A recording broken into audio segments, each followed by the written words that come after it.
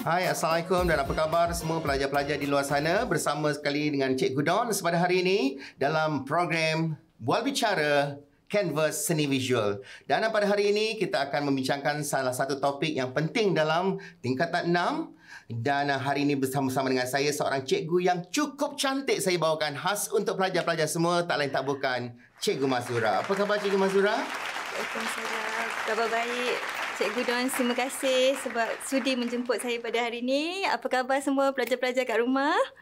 Okey. Okay, terima kasih Cikgu Mazura kerana sudi bersama dengan kami pada pagi ini hmm. dan uh, pastinya seperti mana yang saya telah pun uh, beritahu tadi pada pelajar-pelajar kita bahawa pada hari ini kita akan membincangkan salah satu topik yang antara terpenting di dalam silibus tingkatan 6 dalam mata pelajaran seni visual iaitu bentuk seni visual dan uh, kita tahu semua bahawa bentuk seni visual ini salah satunya ialah perkataan istilah formal itu uh merupakan antara perkara yang harus difahami oleh pelajar-pelajar yeah, kerana ianya sebenarnya merupakan satu yang memaksudkan istilah-istilah itu mempunyai uh, maksud yang berbeza tetapi terms yang hampir sama. Ya. Yeah. Jadi mungkin Cikgu Mazura boleh terangkan tentang istilah-istilah formal itu. Okey, baiklah.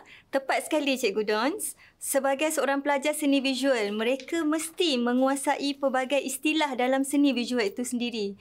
Contohnya memahami pelbagai maksud uh, istilah seperti deskripsi iaitu uh, fokus kepada hal benda atau subjek utama, uh, bentuk fokus kepada analisis, uh, komposisi yang tergolong dalam aspek formal, interpretasi, kandungan yang memberi uh, makna dan konteks okay. kepada pelajar, yeah. uh, visual, uh, gambar, image, foto, uh, lukisan um, dan seterusnya teks yang fokus kepada muka type, huruf, tulisan serta tipografi iaitu seni menyusun huruf tu sendiri. Betul betul. Uh-huh.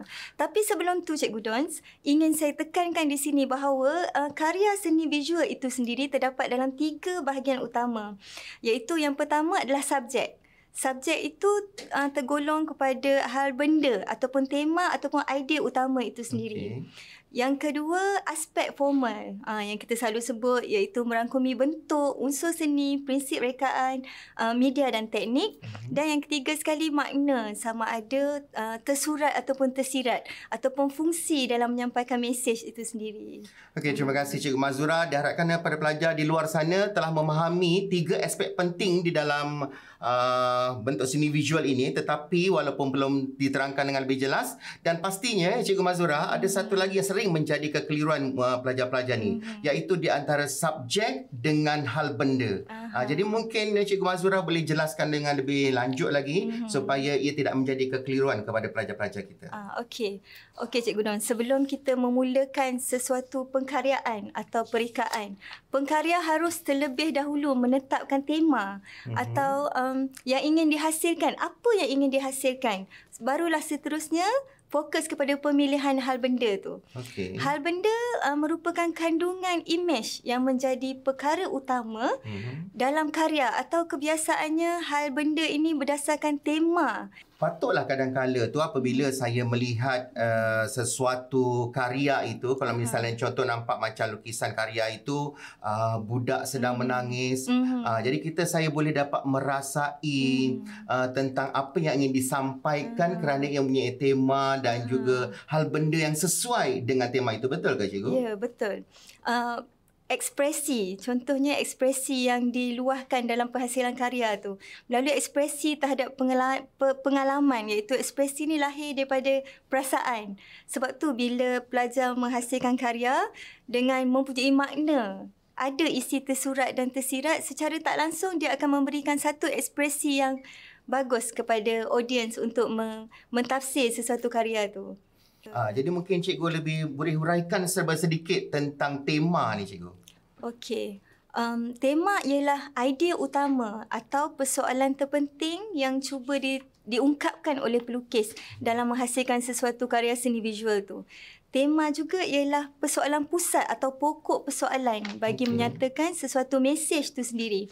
Uh, contoh bagi tema yang sangat popular lah dalam seni visual ni adalah uh, seperti tema kemanusiaan, tema fenomena, uh, kebudayaan, teknologi, masyarakat, isu semasa, sejarah ataupun uh, pribadi seseorang itu mm-hmm. sendiri. Mm-hmm.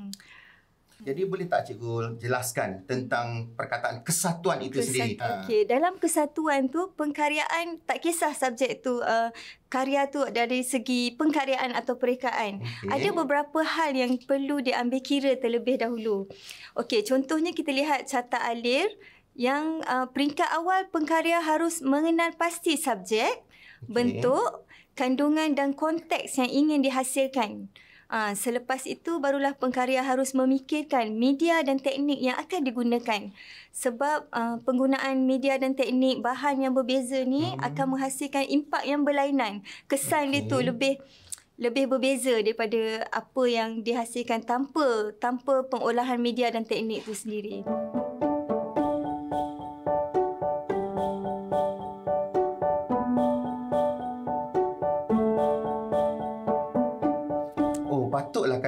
Kita hmm. dapat lihat sendiri contohnya misalnya dalam satu pengkaryaan tu bila kita hmm. sentuh kita rasa uh, macam ada jadi hmm. bermaksud itu menggunakan media-media yang berbeza yeah, lah penggunaan media penggunaan yang media berbeza. yang berbeza jadi uh mungkin pelajar-pelajar nak tahu lebih lanjut juga hmm. mungkin cikgu boleh beri contoh lebih uh, jelas lagi tentang gabungan-gabungan di antara media, hmm. teknik, unsur seni yang diaplikasikan dalam ruang untuk menghasilkan satu kesatuan itu. Uh, Okey, um, supaya lebih jelasnya cuba kita lihat gambar ini.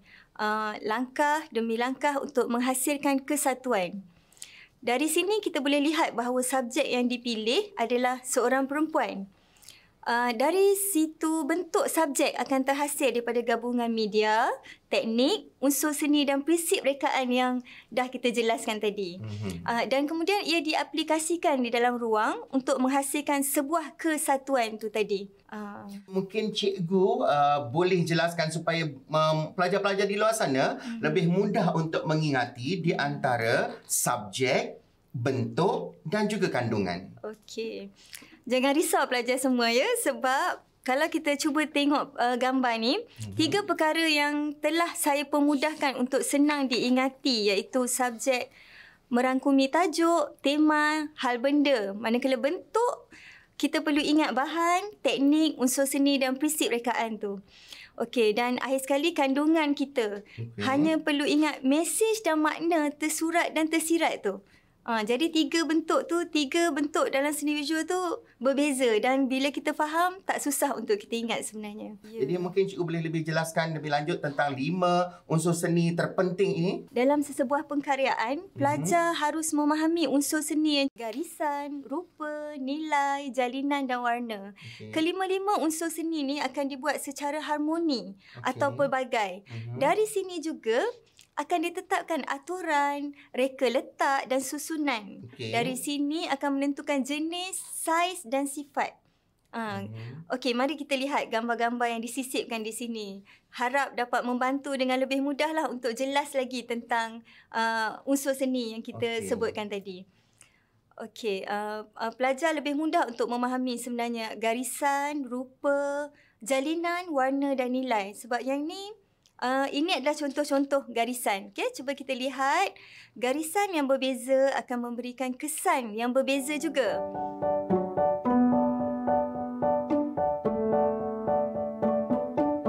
Tadi uh, cikgu ada menyebut satu perkataan nilai. Mm-hmm. Ini maksudnya nilai mata wang ke nilai uh, duit ke nilai cikgu yang semakin cantik pada hari ini ke uh, sebab makin cantik mata wang maka hantaran makin mahal ke uh, sebab ada perkataan nilai yang cikgu sebutkan tadi tu. Uh, mungkin cikgu boleh kongsikan apa sebenarnya uh, istilah nilai yang digunakan pakai uh, di dalam uh, pengkaryaan dan juga perekaan ini. Uh, betul tu Cikgu Dons. Dia bila kita sebut pasal nilai, uh, kita lebih lebih uh, lebih kepada menilai satu okay. penilaian terhadap sesuatu karya. Contoh kalau dalam mm-hmm. nilai ni juga uh, dalam pengkaryaan nilai ni juga difahami sebagai pencahayaan. Okay. Maknanya nilai sesuatu oh, cahaya. Okey okey maksudnya nilai ni lebih kepada pencahayaan. Ya, pencahayaan. Uh-huh. Okey, dan lihat pula gambar ini. Nilai itu membawa pengertian cahaya dan bayang. Mm-hmm. Okey, teknik pencahayaan ini pula terbagi kepada tiga. Mm-hmm. Iaitu tiga-tiga ni penting untuk pelajar-pelajar semua ingat iaitu teknik sfumato. Teknik ni merupakan teknik pencahayaan terang okay. kepada gelap ataupun sebaliknya, gelap okay, kepada okay. terang. Okey. Mm-hmm. Teknik kedua, teknik chiaroscuro. Teknik chiaroscuro pula adalah teknik pencahayaan untuk menimbulkan struktur ataupun bentuk. Okay. Maknanya cahaya yang digunakan tu bagi menampakkan lagi bentuk tu. Oh, Aha. dulu atau mungkin dia panggil istilah shading ke cikgu? Ya, dia lebih kepada shading. Contohnya Aha. kalau cikgu tengok potret Mona Lisa. Okay, Pernah okay. tengok? Ah, itu menggunakan teknik chiaroscuro. Oh, di mana bermain okay. dengan pencahayaan. Dia nampak seolah Mona Lisa tu hidup dan yeah, memandang kita. Ya, yeah, betul. Oh, okey okey okey. Dan teknik yang ketiga adalah hmm. teknik tenebrism. Ha? Okay, tenebrism. Kenapa perlu lebih nama tu? Ha? Sebab dia kan macam macam sabun beri saja. Lebih kurang lah tu. Okay. Okay. Teknik tenebrism adalah teknik pencahayaan yang melampau. Maksudnya okay. jelas pencahayaan tu. Kalau nampak terus hmm. kalau cerah ke gelap terus cerah. Fokus kepada objek oh, yang ingin okay. diberi pencahayaan okay. tu. Faham, faham. Hmm. Uh, tadi kita dah tahu dalam tu ada unsur seni ada lima mm-hmm. dan uh, salah satunya juga selain daripada nilai tadi mm-hmm. ialah jalinan. Boleh terangkan lebih jelas lagi okay. supaya pelajar-pelajar di luar sana faham apa maksud jalinan uh-huh. dalam pengkaryaan itu. Okay, jalinan ini juga sering disebut sebagai texture. Tekstur kalau bahasa okay, Melayunya okay. kan kita uh-huh. dah biasa guna bahasa Inggeris texture. Okey okey. Okey, ia merupakan kesan permukaan yang dapat dikesan melalui deria sentuh atau deria penglihatan. Mm-hmm. Maksudnya dia ada dua okay. kan boleh disentuh dan secara lihat secara visual mm-hmm. okey dan perlu ditekankan di sini dalam seni visual pelukis akan bermain dengan jalinan atau tekstur tu tekstur mm-hmm. tu mhm, hal ini bagi memberi mood dan kesan-kesan tertentu okay. agar karya akan menjadi lebih menarik dan hidup dengan erti kata lain agar karya tu tidak kaku tidak okay. nampak keras okay. elemen jalinan ni bukan sahaja untuk uh, karya-karya dua dimensi. Okay. Tetapi uh, juga dapat memberi kesan terhadap karya-karya tiga dimensi tu. Seperti mm-hmm. arca dan reka bentuk industri. Okay. Uh, contohnya, uh, arca, uh, arca apa yang biasa Cikgu Dons lihat? Arca keris uh, ada kat Kelang. Ya, yeah, arca uh, keris yang yes. tersegam uh-huh. indah tu. Okay. Betul. Uh, jalinan tiga dimensi jelas nampak. Okay. Uh, lihat okay, pada faham. bentuk bentuk ukiran hmm, uh, keris hmm, berkenaan. Dan pelukis bermain dengan jalinan sehingga memberi kesan yang sangat menarik. Daripada jauh kita boleh nampak kan? Ya betul. Yang menariknya melalui sentuhan terhadap jalinan ni kita akan dapat merasai kesan yang berbeza seperti ada permukaan licin, hmm. ada kesan yang lembut, tajam, hmm. keras, kesat dan sebagainya dan secara tidak langsung uh, ia memberi pengetahuan terhadap sifat objek itu sendiri. Mungkin cikgu boleh terangkan ya uh, beberapa jalinan yang menjadi kesukaan uh-huh. pengkarya-pengkarya di luar sana. Okey, secara umumnya cikgu, uh-huh. jalinan yang sering menjadi pilihan pelukis uh, ada empat. Okey, okay, iaitu jalinan sebenar ataupun actual uh, texture, uh-huh. uh, jalinan tiruan, jalinan abstrak dan jalinan rekaan. Okey, okey. Okay. Jalinan sebenar ni ialah kesan tampak yang tulen mm-hmm. pada permukaan sesuatu objek apabila kita melihat dan sentuh objek tu. Okey, okey. Maksudnya ia adalah keadaan sebenar sama mm-hmm. ada melalui penglihatan ataupun sentuhan. Okay. Maksudnya apa yang kita tengok jalinan gitu, itulah yang kita lukis. Mm-hmm. Aha, okey. Asalnya dahulu jalinan ni banyak digunakan dalam karya tiga dimensi. Okay. Tetapi bermula pada era 19 19 dan 20-an pelukis Van Gogh Okay, okay, bertajuk ya. Starry Night ha, kan karya tu. yang terkenal yes, tu. itu. Aha, mula menggunakan teknik palitan. Okay, oh, teknik dia palitan cali-cali aha, yang menghasilkan ya, oh, okay. jalinan yang sangat menarik. Betul, Sampai betul. sekarang pelajar-pelajar saya pun oh, harga juta-juta tu yeah. ha. Lepas tu kalau jalinan tiruan pula ya. Uh, ia satu lukisan yang kelihatan seperti keadaan sebenar ataupun tulen. Mm-hmm. Walhal ia hanyalah uh, kemahiran melukis oh, di atas okay. satah gambar yang rata sahaja. Mm-hmm. Tapi kita nampak seolah-olah sebenar. Mungkin juga ia boleh dikatakan sebagai jalinan tampak okay. sebab jalinan ini sering dilakukan dalam periklanan. Oh, Aha. maksudnya kita lebih kepada melihat tapi yeah, tak disentuh lah. Ya, yeah, betul. Oh, okay, okay. Contohnya teknik simen fero tu. Hmm. Aha, okay, kita boleh tengok. Dan seterusnya jalinan abstrak. Hmm. Okay, jalinan abstrak ni uh, adalah berdasarkan karya abstrak yang menggunakan jalinan sebagai penampilan karya mereka. Okay. Selalunya objek yang dihasilkan adalah dalam bentuk objek realism lah real. Mm-hmm. Uh, namun telah dimujaratkan yakni dipermudahkan dan diubah suai dengan kesesuaian cita rasa pelukis itu sendiri. Okey, menggunakan jalinan, jalinan dalam bentuk yang lebih mudah. Okey, okey, okey. Okey, dan last kali tu jalinan rekaan uh, mula dihasilkan oleh pengkarya tanpa merujuk jalinan mana-mana yang sedia ada. Mm-hmm. Dengan erti kata dia sendirilah cipta, dia berimajinasi tentang uh, jalinan yang ingin dihasilkan tu warna itu sangat memainkan peranan penting. Jadi mungkin cikgu boleh terangkan serba sedikit tentang peranan warna uh, dalam perkaryaan itu. Dan mm-hmm. kita harus ingat warna ni sangat berkait rapat dengan cahaya. Okey, betul. Okey, secara umumnya warna terbahagi kepada dua, iaitu warna yang berasaskan cahaya mm-hmm. yang dipanggil warna aditif. Aditif, okey. Ha, ya, aditif. Manakala warna yang dipanggil pigment. Okey, pigment dipanggil sebagai warna subtraktif. Okey. Aha, okey mm-hmm. tapi harus diingat dalam kehidupan kita akan menggunakan kedua-dua jenis warna ini. Mm-hmm. Okey, tak boleh bergantung satu sahaja. Contohnya warna-warna aditif pula adalah seperti warna merah, hijau dan biru. Uh, apabila warna-warna ini dicampurkan, ia akan menghasilkan warna sekunder dan sering mm-hmm. digunakan di dalam komputer, televisyen dan warna lain-lain lah. Mm-hmm. Uh, manakala warna-warna subtraktif pula adalah seperti warna biru, uh, merah dan kuning. Okay. Uh, jika semua warna primer subtraktif ini digabungkan bersama, mm-hmm. ini akan menghasilkan warna hitam. Oh, okey, mm-hmm. okey. Tetapi jika dua warna primer ini uh, digabungkan, ia akan menghasilkan warna sekunder.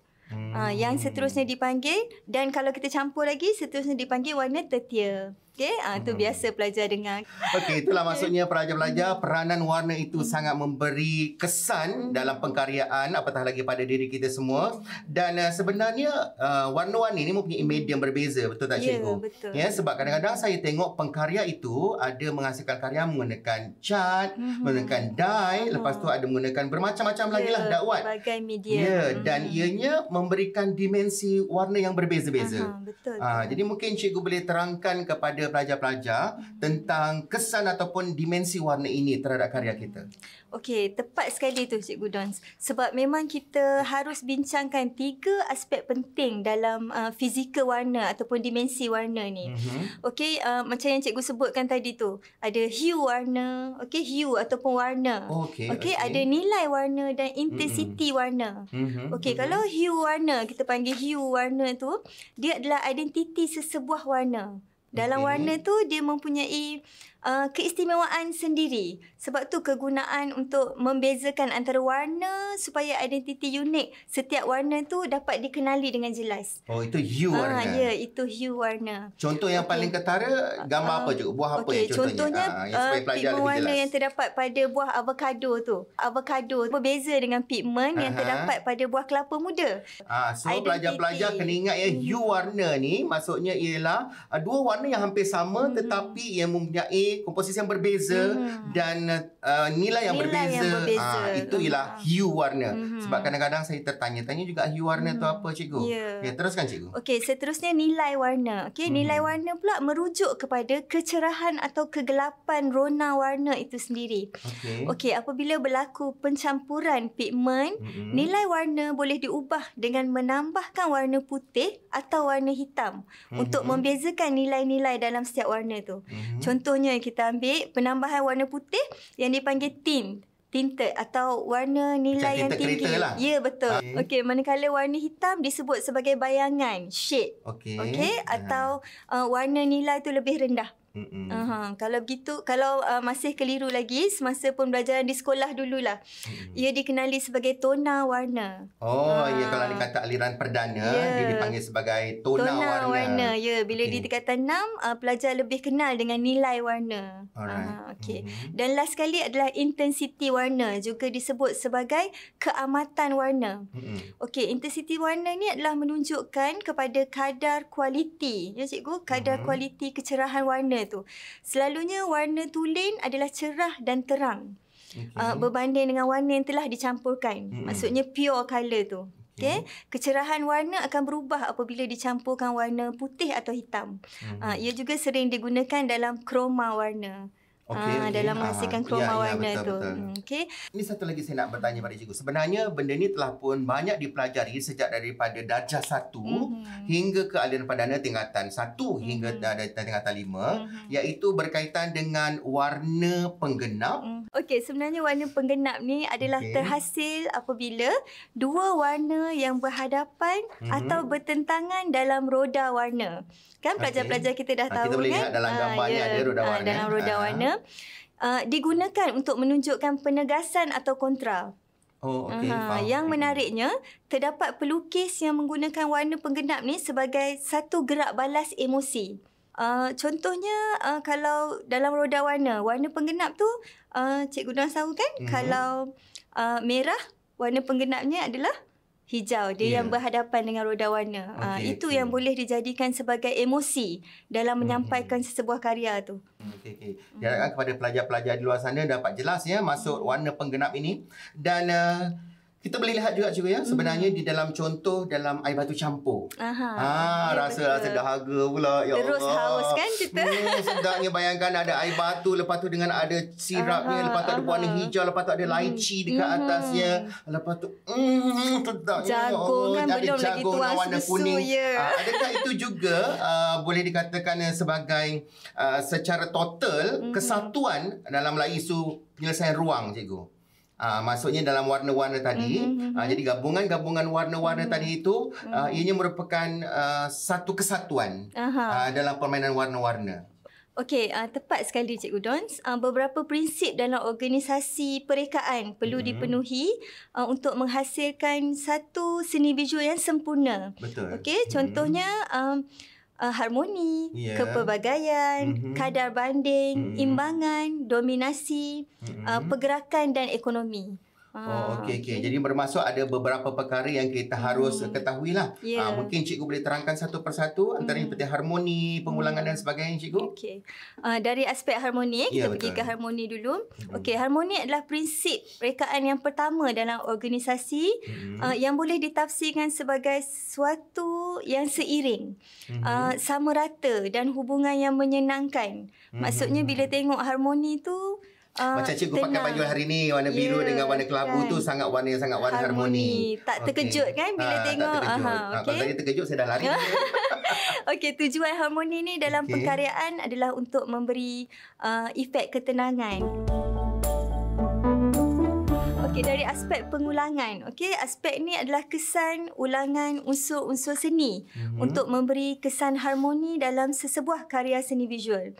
Uh, contohnya susunan garisan, okey, mm-hmm. susunan rupa ataupun susunan warna itu sendiri uh, akan memberi kesan harmoni. Malah okay. elemen yang um, uh, harmoni itu juga dapat menimbulkan memberikan kesan penegasan. Okey, ya betul mm-hmm. betul. betul. Okey, itu dari aspek harmoni. Mm-hmm. Okey, kalau kita pergi kepada uh, elemen kedua iaitu mm-hmm. kadar banding. Mm-hmm. Okey, kadar banding pula adalah um, daripada perkataan bahasa Inggeris iaitu proportion. Mm-hmm. Okey, mm-hmm. ada juga yang menyebutnya sebagai uh, ukuran kesepadanan. Mm-hmm. Aha, maksudnya tujuan utama dia adalah untuk melihat ketajaman rasa ataupun feeling. Mm-hmm. Okey, feeling pada uh, sesuatu penentuan objek atau image yang disusun. Mm-hmm. Sama ada serasi atau tidak dengan gubahan yang ada dalam karya tu. Mm-hmm. Hmm, maksudnya kalau uh, kadar banding ni kalau manusia saiz tu objek di sebelahnya uh, tidak tidaklah serasi. nanti manusia lebih besar yeah, daripada rumah. Betul. Ha okey. Uh, okay. uh, faham so, tu pelajar-pelajar ya. Hmm. Jangan sampai bila nanti menghasilkan karya mm-hmm. orang pula lebih tinggi daripada rumah. Daripada rumah. Ha,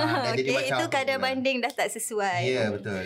Okey um, elemen seterusnya adalah hmm. imbangan. Yeah. Okey, dari segi imbangan uh, terbagi kepada tiga jenis iaitu hmm. kita ada imbangan simetri, hmm. imbangan tidak simetri dan imbangan semua arah. Okey. Okay, okay. Aha. Imbangan simetri ni dia bersifat sama berat cikgu. Hmm. Dia seimbang kiri dan kanan tu. Uh, garisan exist merupakan arahan bagi menentukan keseimbangan simetri tu. Ya, tengah ya. kesan okay. tengah-tengah tu. Hmm. Manakala imbangan tidak simetri pula ialah objek atau image yang uh, diletak dalam kedudukan yang tidak sama kiri dan kanannya. Hmm. Masih seimbang hmm. tetapi pemberatan atau saiz dari segi uh, posisi atau saiz dia tu tidak sama. Manakala imbangan semua arah pula merujuk kepada pemusatan. Misalnya hmm. kita tengok bunga matahari, hmm. uh-huh, kita tengok roda basikal, yeah, betul. Uh, payung dan sebagainya hmm. yang ada pusat dekat tengah-tengah tu. Hmm. Okey, itu kita panggil pemusatan. Uh, dan dinilai sebagai imbangan memancar atau mm-hmm. radial yeah, uh, yang yeah, jenis yeah. membulat tu. Boleh tak cikgu jelaskan uh, apa yang dimasukkan dengan ekonomi uh, dalam pengkaryaan ini? Okey, uh, dalam seni visual, ekonomi itu membawa maksud kaedah meletakkan unsur-unsur seni dan hmm. prinsip rekaan tu dalam keadaan yang sangat minimum. Okey, okay, dengan erti kata lain, uh, ekonomi bukan bermaksud sedikit atau kurang hmm. tetapi lebih kepada suatu ruang yang memberi kelegaan.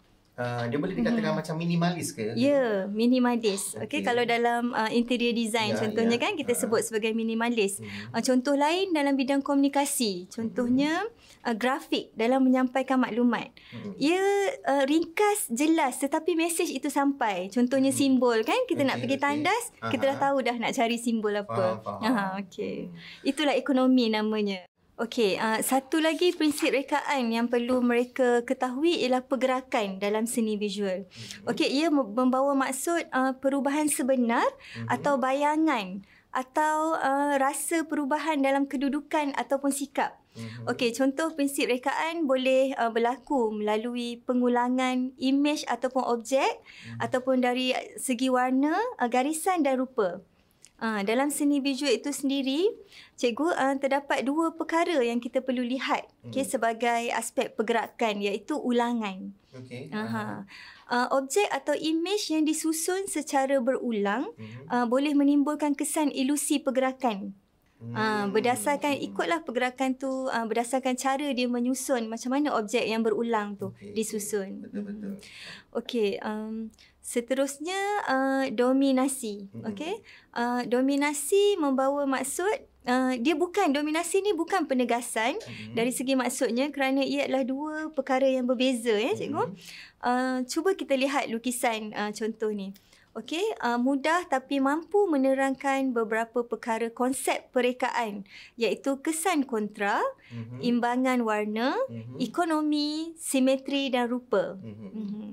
Dan kita akan sambung tentang berkaitan dengan media pula cikgu ya. Menurut Wikipedia, uh-huh. uh, media adalah bahan yang digunakan oleh pelukis atau pereka mm-hmm. uh, dalam mencipta sebuah karya tu. Okay. Uh, dalam erti kata lain, media adalah bahan alat dan instrumen untuk menggerakkan pelukis dan pereka dalam menghasilkan karya seni visual. Mm-hmm. Okey, manakala teknik, okey, tadi okay, media uh-huh. bahan dan teknik pula uh, cara dan kemampuan seseorang pelukis dan pereka mm-hmm. menggunakan kemahiran melalui media yang dipilih. Mm-hmm. Uh, okey, tiga benda yang berbeza. Mm-hmm. Okey, contoh macam cikgu Don sebut tadi lah yeah. ya contoh uh. media kering adalah seperti uh, arang ataupun mm-hmm. cakul ya media pensel yeah, media pen dan dakwat uh, kita mm. boleh lihat gambar-gambar yang dipaparkan mm-hmm. manakala uh-huh.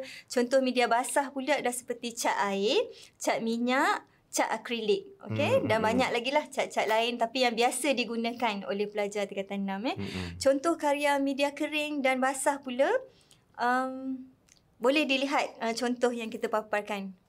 Terdapat hmm. banyak contoh yeah. ya supaya pelajar lebih jelas lagi. Betul. Jadi hmm. kepada pelajar-pelajar boleh lihat gambar-gambar yang disertakan disisipkan bersama-sama ini untuk lebih mengenali hasil-hasil karya, contoh-contoh karya, media kering dan juga media basah. Hmm. Jadi sebelum uh, kita berakhir cikgu, ada hmm. satu lagi uh, perkara yang ingin saya bertanyakan hmm. pada cikgu yeah. iaitu berkaitan dengan hmm. kandungan dan juga konteks. Silakan cikgu. Okey. Kandungan atau konten tu ialah uh, maksud uh, mesej emosi dan intelektual dalam karya seni. Mm-hmm. Kandungan juga merupakan satu uh, kenyataan ataupun ungkapan atau mood yang ditemui oleh pelukis semasa proses berkarya tu. Hmm. Uh, manakala konteks pula ialah bentuk dalam seni visual atau apa-apa sahaja yang kita lihat dalam sesebuah karya seni visual. Hmm. Uh, dalam erti kata lain lah, kandungan ialah apa yang uh, kita fahami Okay, dan pengertian terhadap apa yang kita lihat. Contohnya kalau kita lihat karya tu, terus kita boleh nampak apa yang cuba disampaikan oleh uh, pengkarya itu sendiri. Dan uh, terima kasih sekali lagi kepada cikgu kerana sudi meluangkan bersama kami dalam Canvas Ni Visual. Okey, jadi kepada pelajar-pelajar di luar sana, diharap dapat memanfaatkan ilmu yang diperoleh pada hari ini dan kita akan jumpa lagi dalam siri berikutnya Canvas Seni Visual tingkatan 6. Jumpa lagi. Assalamualaikum warahmatullahi wabarakatuh. Bye.